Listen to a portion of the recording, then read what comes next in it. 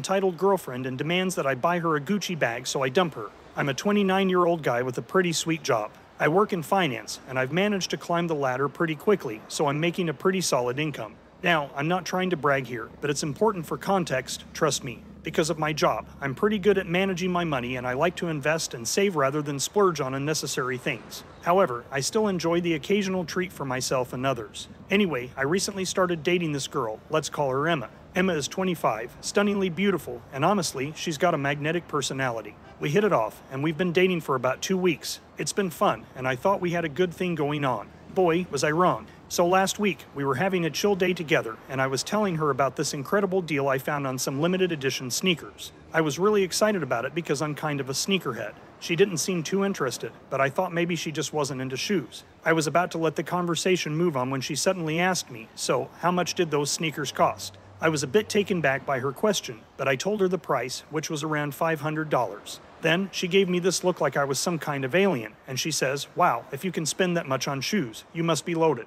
You should buy me a Gucci bag. I was like, Excuse me, because first of all, we've only been dating for two weeks, and second, a Gucci bag. Like a $4,000 Gucci bag. Hell no, I'm not about to drop that kind of money on someone I barely know, even if I can technically afford it. But she didn't let up. She started going on and on about how she's always wanted a Gucci bag and how all her friends have designer bags, and she'd look so good with one, and blah blah blah. I tried to tell her that it wasn't really appropriate for her to ask for something like that, but she just rolled her eyes and said, Oh, come on. You said you make good money. It's not like it's a big deal for you. At this point, I was starting to get annoyed. I mean, I'm not opposed to treating my girlfriend to nice things, but this was a whole other level. Plus, it's not like I'm some kind of machine that just spits out designer bags on demand. So I decided to stand my ground. I told her in no uncertain terms that I wasn't going to buy her a Gucci bag. That's when she turned into a pouty little brat. She crossed her arms, stuck out her lower lip, and basically started sulking like a child.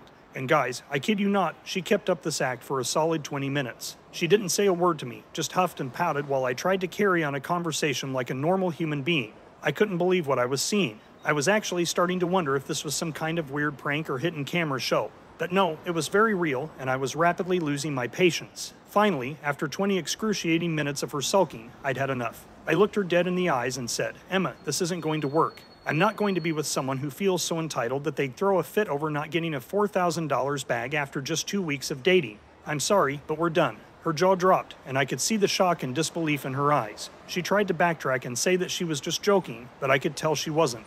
There was no hint of humor or playfulness in her attitude before. She just didn't want to face the consequences of her ridiculous behavior. I told her that I didn't want to see her anymore and that she should leave my place. She tried to argue with me and even had the nerve to call me a cheap bastard, but I stood my ground.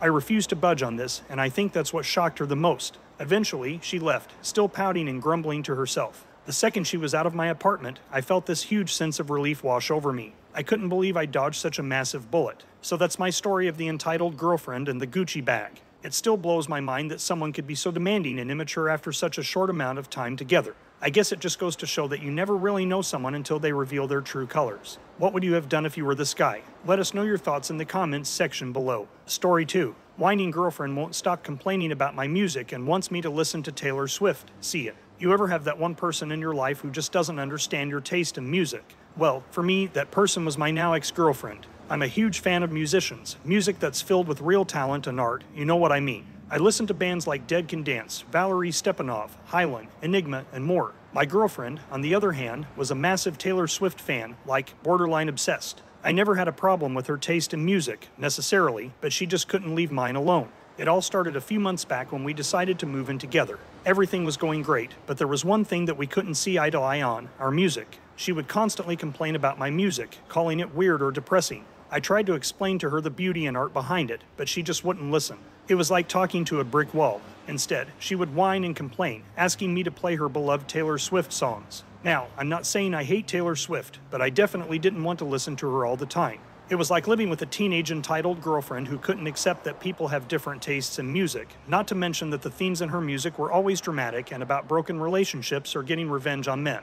I just wasn't comfortable with hearing that all of the time. Like, we are in a relationship and I thought it was going good. So why all the man hating stuff, you know? One day, I came home after a long day at work and I just wanted to unwind and listen to my favorite Dead Can Dance album. But as soon as I hit play, she started her usual whining. Ugh, not this again. Can we listen to something more upbeat, like Taylor Swift? I tried to keep my cool and explained that I just wanted to relax, but she wouldn't have it. No, we're going to listen to Taylor Swift, and you're going to like it. She yelled, snatching the remote from my hand and changing the music. I sat there in shock, wondering what happened to the girl I fell in love with. This was becoming too much. Over the next few weeks, I tried to find a compromise. I suggested we take turns choosing the music, but she would still complain and make snarky comments about my choices. I even tried creating a playlist that combined both our tastes, but she would just skip all of my songs when it was her turn to control the music. It got to a point where I couldn't take it anymore. One night, after she had belittled my taste in music for the hundredth time, I snapped. You know what? I'm done. I can't take this anymore. I don't want to be with someone who can't respect my interests and constantly makes me feel like garbage because of my music taste, I said, my voice shaking with anger and frustration. She just scoffed and rolled her eyes. Fine, whatever. It's not like I wanted to listen to your weird music anyway. That was it. The relationship was over. We decided it was best if I moved out since she could afford the apartment on her own. As I was packing my things, she tried to make small talk, but I wasn't interested.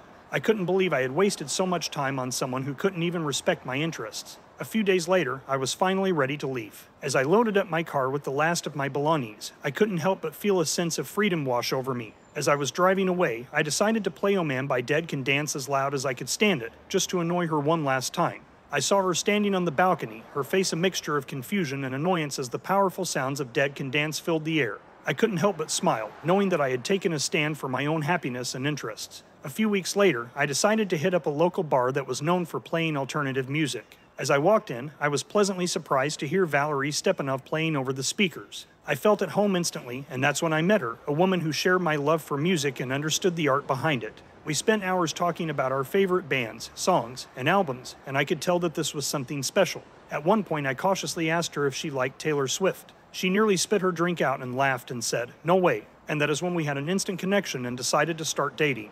It felt incredible to be with someone who not only respected my taste in music but also shared it. So that's my story a tale of a whining girlfriend, music, and finding happiness in the end.